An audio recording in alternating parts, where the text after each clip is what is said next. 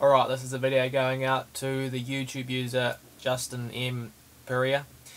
Just wanted to know what was up with my um, my sub channel and I said I would do a quick video just showing him how I've got it set up.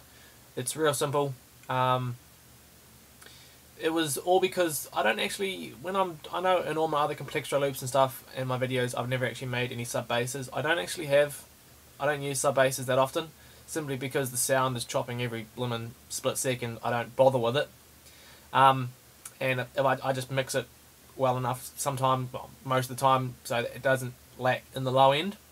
But in this one here, I needed to use a sub bass. I was making this main sort of foundation bass line here.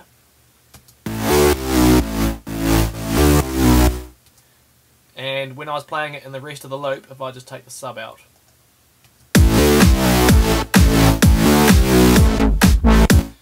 I don't I don't actually know if you can tell or hear well enough because of you know the sub bass it might not come through the speakers on your speakers loud enough.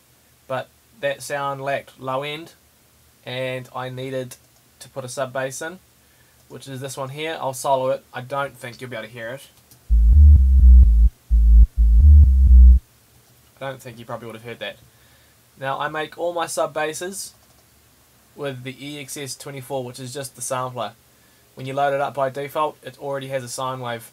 So I make all my sub basses with the sampler. There's just a default um, sine wave, which is perfect. And I just play with the cutoff, put the drive up a little bit, and uh, that's all I need to do. But in order to um, in order to make it sit well with the bass line, I uh, I use the exact same com compressor settings. So there's that one there, and this is my sub bass. I'm pretty sure anyway. Yeah, I use all the exact same sidechain compression settings on both the bass line and the sub bass. So that's that's the only reason why I've got a sub in this um, in this particular song. Just that one sound I thought lacked low end, and it makes a difference too. The sub bass is um, it's a, it, this is a, one of my better ones actually. I thought it filled out the sound really nicely. Um, so yeah, sidechain compress compression on both of them, identical settings, and uh, there you go. I hope that sort of answers your question or helps you out in what you're looking to know.